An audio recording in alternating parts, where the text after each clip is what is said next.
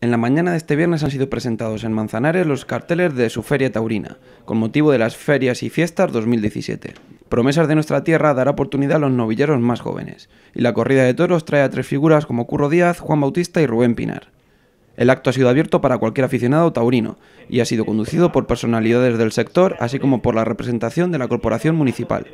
Yo creo que el esfuerzo es colectivo, participamos muchos para conseguir mm, desarrollar dos festejos como este, para que la feria y fiestas de Manzanares tengan no solo un equilibrio, sino también eh, tengan fuerza. No hay nadie en esta provincia que no diga aquello de Manzanares siempre ha tenido una gran plaza de toros y ha tenido de los mejores festejos de la provincia. Eso no lo cuestiona nadie. Manzanares se está convirtiendo en un referente a nivel nacional gracias al caché de su feria taurina, que supone un adelanto de lo que suele triunfar más tarde en San Isidro.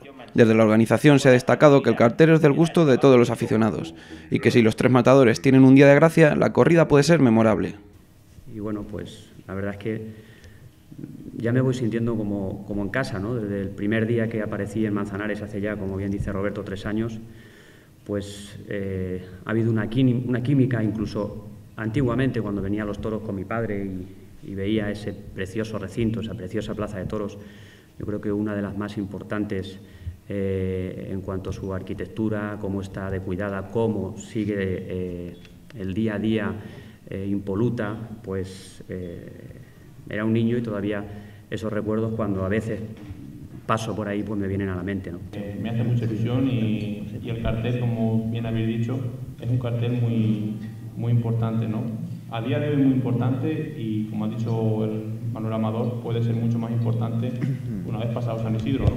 Porque ahora viene el, maratón del toreo y, creo que Burro Díaz, que es un torero de Madrid, y eh, ser torero de Madrid es una cosa muy difícil y él ha conseguido ser un torero de la afición de Madrid, del gusto de Madrid.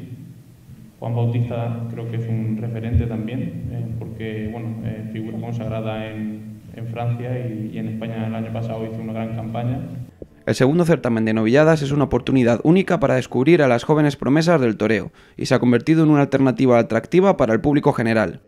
El autor de la pintura que ilustra el cartel es Aurelio Rodríguez, quien se ha mostrado orgulloso a causa de su cariño al toreo y a nuestra localidad.